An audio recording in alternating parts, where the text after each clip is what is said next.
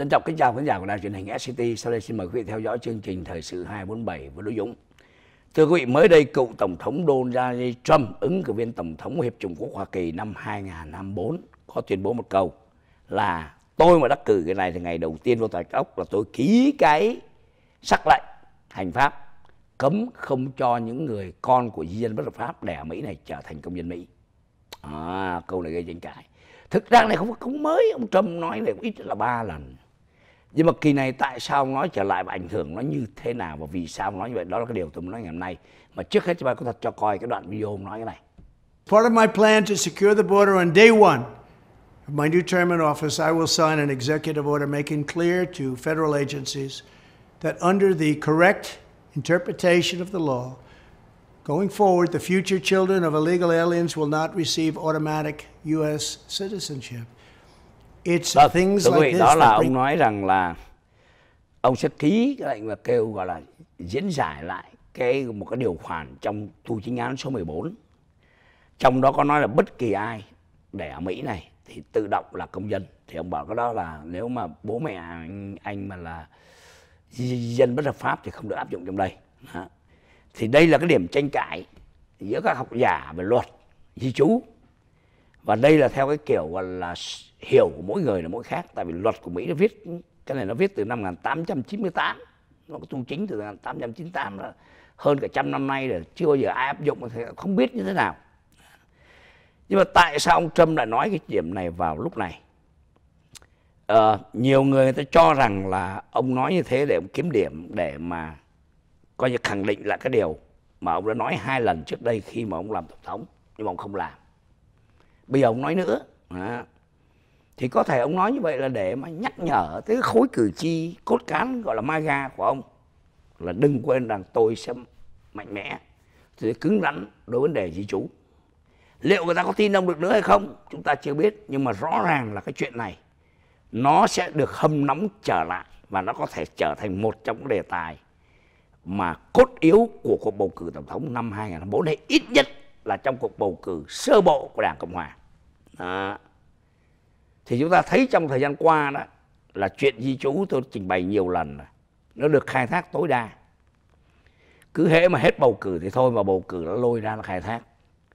Ví dụ như ông Rick Abor thống đốc của Texas, nhiều lần nghĩa là chở di dân bằng xe bớt qua thầy trước cửa nhà bà phó tổng thống, thầy bên New York, thầy chỗ này chỗ kia. Ông Ron DeSantis, thống đốc Florida thì bây giờ cái là hôm trước bắt cóc 50 di dân Ờ, Venezuela xong rồi cũng đưa họ đi sang Massachusetts.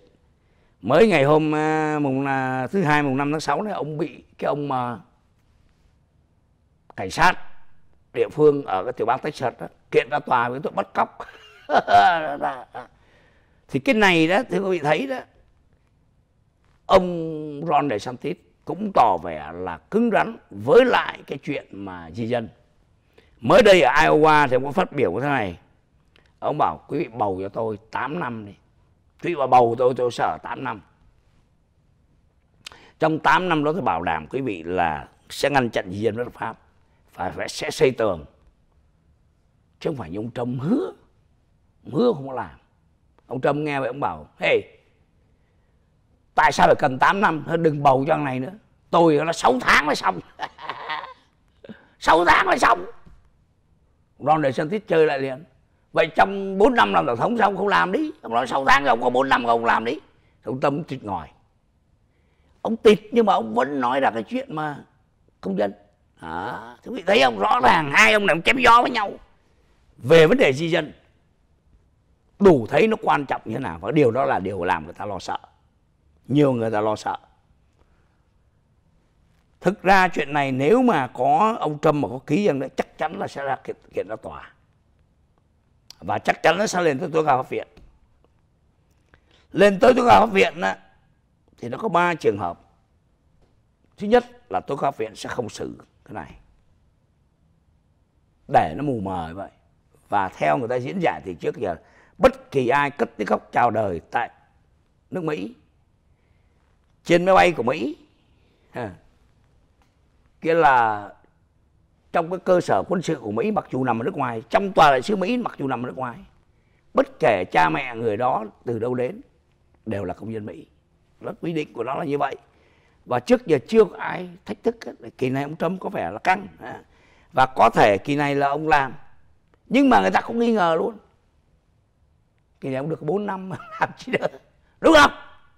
Nếu ông Ron DeSantis ông thắng á ông bảo cho tôi 8 năm làm thì có thể là gì? Tức là quý vị bầu tôi bầu tôi thêm 8 năm nữa. 4 năm nữa là tôi có 8 năm, trong 8 năm tôi làm. Ông mới hứa thôi. Còn ông Trump hứa đó là tôi làm trong vòng 6 tháng. Nhưng mà ông Trump đã ở 4 năm không làm là thành cái lời hứa của ông Trump nó hơi kẹt. Nhưng ông không quan tâm chuyện đó. Ông muốn đưa vấn đề này trở lại. Bởi vì trong cái những người MAGA, hoặc ngay cả có những người mà không phải MAGA luôn, họ vẫn coi cái chuyện là công dân nước ngoài vào để bất hợp pháp mà đẻ con ở đây mà có quốc tịch là nó vô lý. Trong thâm tâm họ vẫn cho là vô lý. Ở trên đời có nhiều cái nó vô lý lắm. Nhưng mà theo luật nó lại không có sai. Khổ thế. Nước mỹ nhiều cái loại quái đản. Ra đường thấy người ta đụng xe. Gặp ở việt nam gặp những nơi khác chúng ta được cha mẹ dạy bảo là chạy ra cứu người ta. Thấy không? Làm Samar, good samaritan ra cứu người ta. Đưa người ta vô nhà thương giúp đó ở mỹ nó không ai ta cứu hết. Tại vì sao? Cứu vật vật trả ơn, cứu nhân nhân trả oán. Vì ra cứu nó vô có chuyện gì nó kiện là mình. Thành nhà nước mỹ nó là như thế. Nghe nhìn thấy là vô vô ơn đúng không? Thế là vô nhân đạo đúng không? Nhưng mà nó hợp lại. thế bây giờ vấn đề di chú cũng vậy. Thấy nó vô lý, nhưng mà nó hợp lại. thì bây giờ ông Trump đang thay đổi cái đó. Thì chưa chắc thay đổi được, nhưng mà ông đẩy cái này lên thì đẩy là lên để chi? Ông ông Ron DeSantis đều tìm cách là giữ cái khối cử tri MAGA. Ông Trump giữ khối cử tri MAGA. Ông Ron DeSantis là đi cướp một số chôn một số cử tri MAGA của ông Trump để mình thắng trong cuộc bầu cử sơ bộ. Thành ra hai ông đẩy vấn đề di dân này lên. Và khi đẩy lên như vậy nó có nguy hiểm. Tôi biết là cái chuyện mà mà mà mà mà, mà di dân đi về đâu thì hồi nãy tôi nói đó lên tố cáo viện là ba trường hợp. Một là không xử. Hai là xử cho cái là công dân à, vẫn được bình thường. Tức là coi như là anh nào đẻ đây là tôi cho công nhân trường hợp thứ ba là lật là coi như nói rõ là anh nếu bố mẹ anh không phải công dân hay là không phải thường trú nhân mà nếu nói bố mẹ anh bất hợp pháp thì anh không được. Thì với tình hình hiện nay người ta chưa biết như thế nào. Ở tối cao viện bây giờ là có 9 người 6 người bảo thủ và ba người cấp tiến. Mà điều đó không không có nghĩa là ba người bảo thủ sáu người bảo thủ nó bỏ, bỏ phiếu theo. Bởi vì có những cái họ biểu bỏ phiếu khác rồi. Thành ra đó là không thể tính được cái chuyện đó. Tính là như vậy nhưng mà nó chưa chắc đi như vậy. Ví dụ cái phán quyết mới đây này về cái vấn đề mà mà mà mà phá thai đó thì người ta thấy là đúng. Nhưng mà cái phán quyết về tai tổ 42 đó đáng lý là theo cộng hòa là phải tiếp tục, đúng không? Nhưng mà mấy ông bà tôi học viện, không được vô. Tức là bỏ tay tổ 42 tức là người dân ở nước ngoài được quyền đi vào Mỹ, gõ cửa, rồi anh phải phỏng vấn tôi. Đã, thành ra tôi học viện là cái mà khó biết nhưng cũng nguy hiểm. Thì người ta không muốn lên tới chuyện đó, nhưng mà ngay cả chuyện đó cũng chưa tới nữa. Nếu nó có lên tới học viện, nó phải là qua 2025 phải qua 2025 tức là sau khi ông Trump đắc cử tổng thống nếu đắc cử tổng thống thì lúc đó đó ông mới bàn là nếu ông giữ, giữ lời hứa chưa chắc giữ lời hứa bởi vì ông chỉ có 4 năm nữa thôi. Bắt bớ giữ lời hứa làm gì? Ông đâu có được tái ứng cử lần nữa đâu có đúng không? Đó. Nhưng mà tại sao vẫn nói? Đó là câu chuyện mà tôi sẽ kể tiếp cho quý vị sau phần quảng cáo. Xin quý vị đừng rời màn hình SCT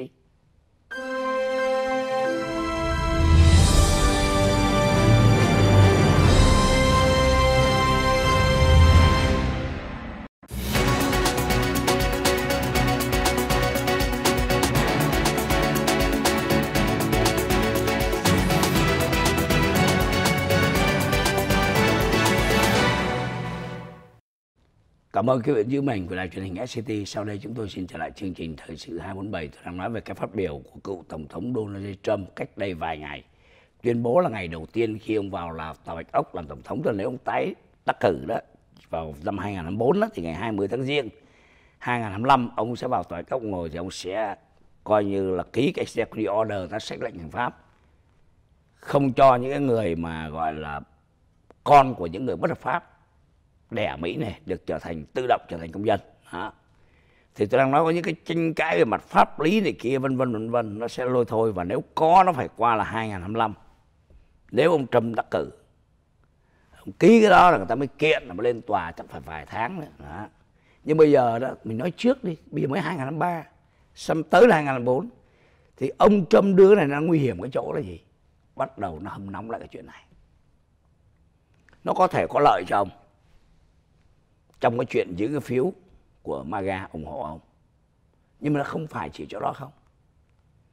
Mà nó sẽ thu hút các ứng cử viên khác ở các chức vụ khác. Thượng viện, hạ viện, thậm chí thống đốc luôn.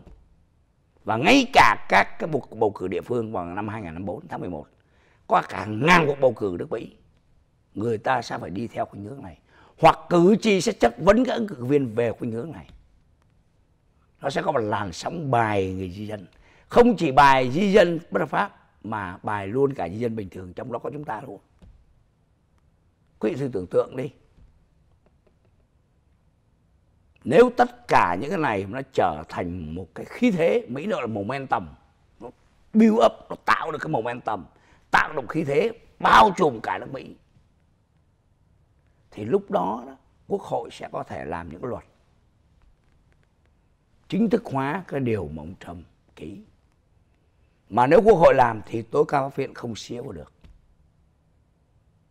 Mà nếu cái đó thành công, tức là những người mà con của những người bất pháp không được thành công dân mà nếu nó trôi qua đầy đủ và được các dân Mỹ ủng hộ, không phải không cần toàn bộ đâu. Chỉ cần một thiểu số nước Mỹ nhưng mà nếu nằm rải rác các cái tiểu bang vì cái cơ cấu bầu của Mỹ bầu không theo phiếu phổ thông, bầu lấy phiếu cử tri đoàn cho nên chỉ cần thắng và hài lòng những cử tri ở những tiểu bang mà đủ cho tôi bao nhiêu? 270 phiếu cử tri đoàn là tôi làm chính sách. Số cư dân, số cử tri đại diện cho 270 phiếu cử tri đoàn để thắng chức bầu cử tổng thống chưa chắc đã là hơn một nửa dân Mỹ. Chưa chắc đã là tới một nửa dân Mỹ. Ông Trump năm 2016 thắng bà Clinton, thắng phiếu cử tri đoàn đâu thắng phiếu phổ thông đâu. Thấy không? đâu phải một nửa dân mỹ đâu. Mà một nửa đại cử tri của mỹ. Đó. Thành ra nếu mà họ làm được cái điều đó tức là họ thuyết phục các tiểu bang họ thông qua được thì mai mốt sẽ thông qua những cái khác nữa. Nó sẽ là tiền đề mở cửa cho các cái khác. Ví dụ ngày mai hề hey, tôi tước quốc tịch mang luôn. Cái này tôi nói là hơi có thể nhiều người bảo ôm dũng lo quá đà. Ở mỹ này không có gì mà quá đà có ai nghĩ ông trump một ngày làm tổng thống không? No. Một người hoàn toàn không có kinh nghiệm. Không một ngày kinh nghiệm trong chính quyền mà vẫn đắc cử tổng thống. Thế thì đừng nói những chuyện đó là khó xảy ra. Không gì mà không thể xảy ra nữa. mỹ, người mỹ ta có câu là nothing impossible không gì là không thể. Tương lai có thể là có những luật tôi tước quốc tịch mấy anh gọi là gốc châu á được không? Why not? tôi chỉ cần một tội nào đó thôi. Tôi làm, tôi thông qua luật được mà. Coi chừng, đừng có dẫn mặt. Họ sẽ làm được những cái điều đó mà không làm được. Cái đầu tiên mà họ làm mà được, họ sẽ làm tiếp những cái khác. Đến một ngày nào đó tôi không thích anh, tôi tước quốc tịch anh sao? Tôi có ngàn lẻ một lý do để tôi làm chuyện đó ở đây tôi không muốn nói dông dài là họ làm là nghe chắc là vô lý, không có gì vô lý hết tôi sẽ có những cái luật thông qua và rồi nghĩa là tôi làm được. Cái đó là cái người đang lo sợ nhất. Tại vì sao? Tất cả cái game này, cái trò chơi này đều là trò chơi đi bầu. Quý để ý đi. Tất cả nước mỹ này quyền lực nằm trong lá phiếu hết. Bởi vì tôi vẫn nói hoài, quý vị phải đi bầu. Mà nhớ đừng bầu lộn ông Trump và những người MAGA họ sợ rằng cái thành phần này dần dần mà lớn lên nếu được nhập quốc tịch 18 năm sau đi bầu. Nó sẽ trở thành là đa số của nước Mỹ và sẽ thay đổi nhiệm vụ của ông Trump. Tại sao người ta một số người, người ta tin ông Trump như là tin thánh? Người ta nghĩ ông Trump là con rời sai xuống bởi vì ông dám làm cái chuyện là cho người thấy là chúng tôi sẽ để cho cái gọi là gì? Cái người mắt xanh mũi ló tóc vàng sợi nhỏ tiếp tục thống trị đất nước này còn nếu mà không ngăn cản lại thì sẽ một ngày nào đó. Cái thành phần mà di dân, mà thiểu số sẽ trở thành đa số. Mặc dù cái nhóm đó không hề đoàn kết được. Nhưng khi ông Trump nói đó và những người da trắng nói đó, nó có lý. Đối với những người Mỹ, họ ủa sắc kỳ vậy. Đất nước là da trắng mà tự nhiên đâu có mấy da màu vô đây riết việc làm này làm kia, lên làm dân biểu, lên làm thị trưởng, lên làm các thứ lo chứ nhưng mà cái đó đó là chỉ là cái cớ thôi, là vào màu da chứ, tôi bảo đảm quý thiểu số nước Mỹ thì không thể nào đoàn kết được bằng người da trắng. No. tại vì mỗi nước nó có mỗi một cái khác nhau và nó mâu thuẫn với nhau. Nhưng mà người da trắng họ vẫn lấy cái cớ đó, họ bảo là chúng ta da trắng sẽ thành thiểu số và nó ăn khách. Thành ra khi ông Trump và ông Ron DeSantis thi nhau cái chuyện ai sẽ là cứng rắn với di dân hơn di dân đây là kể cả bất hợp pháp và không bất hợp pháp nha họ nói bất hợp pháp là họ nói phép thôi. Chứ trong con mắt họ đó là các ông Đỗ Dũng là khó chịu à, rồi và cả quý vị luôn. Thành ra đây đó, nó sẽ tạo thành cái tiền đề và tạo thành một cái gọi là chủ đề. Nó trở lại trong cuộc bầu cử năm 2004 và có thể là ảnh hưởng đến mọi người khác. Từ từ sẽ ảnh hưởng đến chúng ta.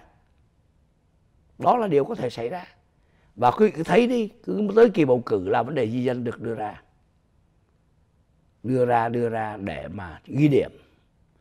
Rồi sau đó tôi nói ví dụ như ông Trump á, ông mà đắc cử, ông không làm thì không sao.